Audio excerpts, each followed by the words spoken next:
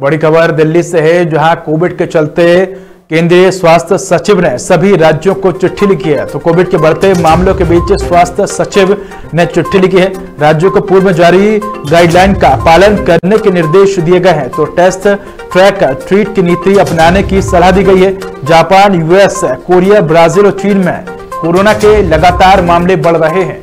तो एक बार फिर से कोरोना के बढ़ते मामलों को लेकर स्वास्थ्य विभाग अलर्ट हुआ है। और स्वास्थ्य सचिव ने सभी राज्यों को चिट्ठी लिखी है। कोविड के बढ़ते मामलों के बीच स्वास्थ्य सचिव के चिट्ठी लिखी है। तो राज्यों को पूर्व में जारी गाइडलाइन का पालन करने के निर्देश दिए गए हैं। टेस्ट ट्रैक और ट्रीट की नीति अपनाने की सलाह दी गई है। आपको बता दें कि जापान यूएस ब्राज़ील और चीन में कोरोना के मामले लगातार बढ़ते जा रहे हैं।